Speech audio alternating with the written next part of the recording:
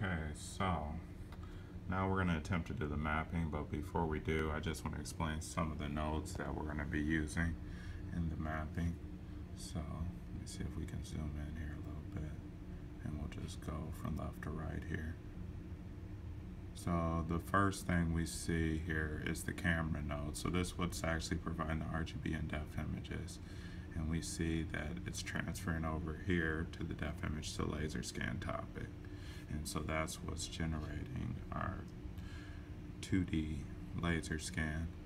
Um, over here to the right, we have the G mapping.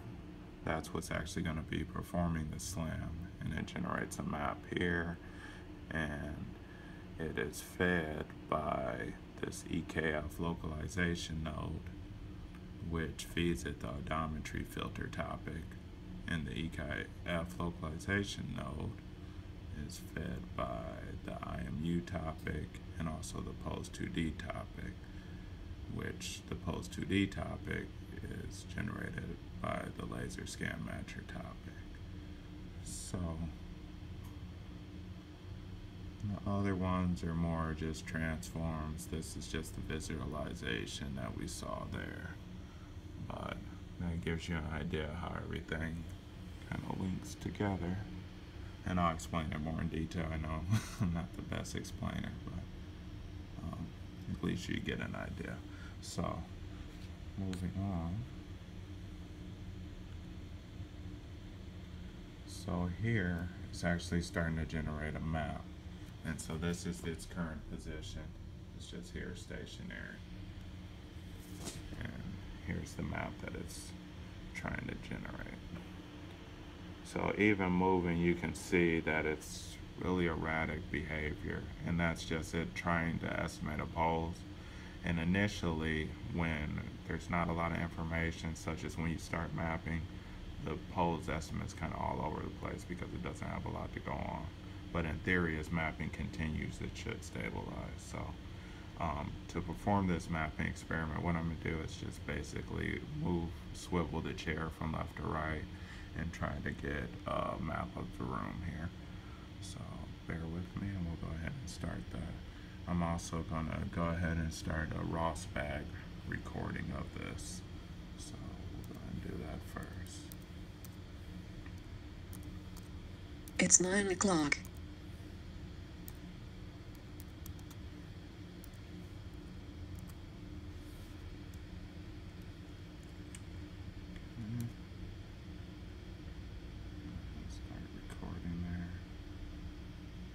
Had some battery issues, so hopefully this doesn't crash.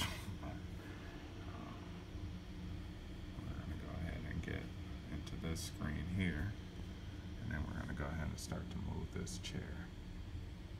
So we're going to go a little forward, a little this way. We're to look screen. So you can kind of see the right and get an idea from this part of the chair what direction we're trying to face. So I'm going to move it out just a little more, come out a little bit, and we're going to keep turning, turning,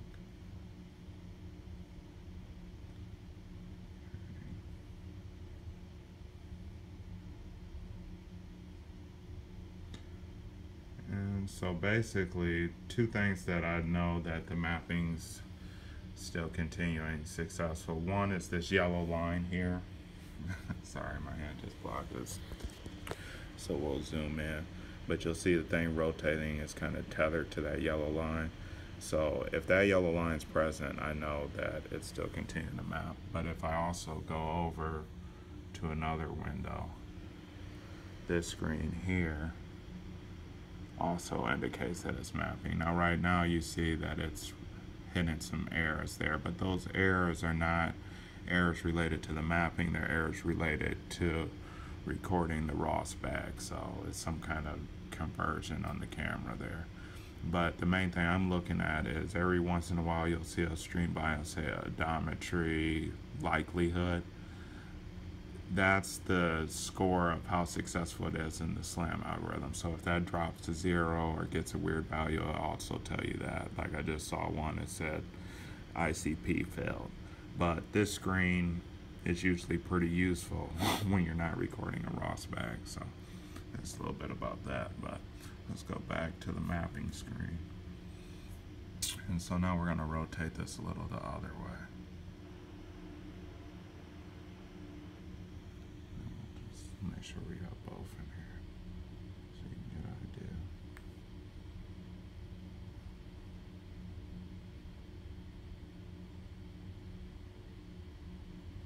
And the yellow arrows that you're seeing there generating, that's the actual, like the odometry predictions.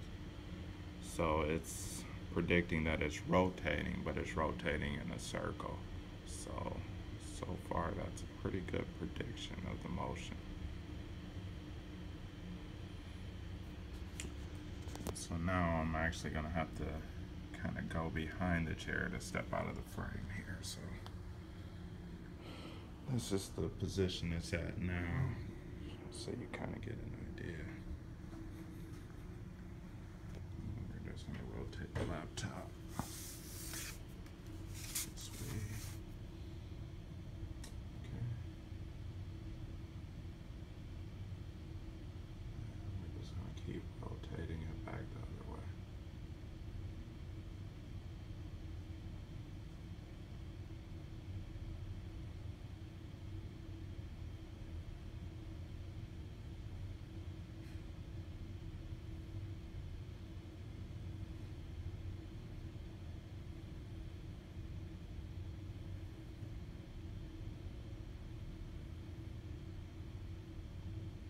And now we're rotating it the opposite direction.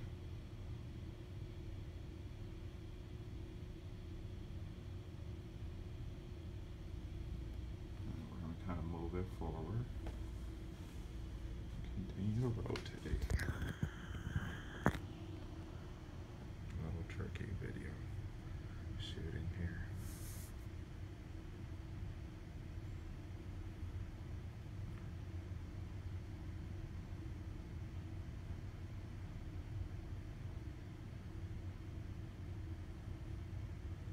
So as we continue to rotate it, we're assuming that it's moving about on the 2D platform. And we see that it's starting to get the rectangular shape that we're hoping for to mirror the room. Now the map doesn't look really feasible to us, or not feasible, but legible I would say, as far as the dimensions of the room. But what I've seen in other videos and in other research, the map doesn't always, because this doesn't have loop closure, so the map's gonna look a little skewed.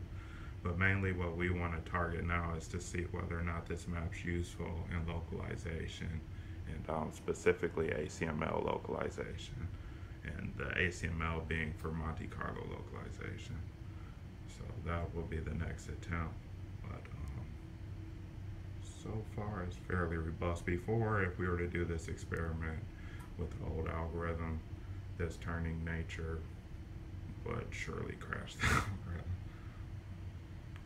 But here, even though it gets off track, like here it's off track quite a bit, it recovers fairly easily. So it looks like my battery is gonna die. So we're gonna cut this short, but I'm just gonna come back to this map here.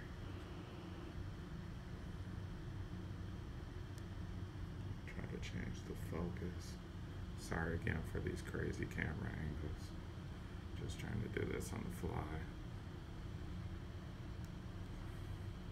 So this is the map we have so far. We have, let's see, there we go. So basically, what we're concerned with next is if I move the robot here and I'm using localization with this particular map, does the robot or does the algorithm know that I'm there? So that's what we're going to be testing next. But so far, as far as mapping, I think we're okay on the 2D aspect. I'm still working on getting this system to integrate with RTAB-Map. Um, but that may or may not be an issue at this point. So thank you for watching. Hope you didn't get motion sickness. See you next time.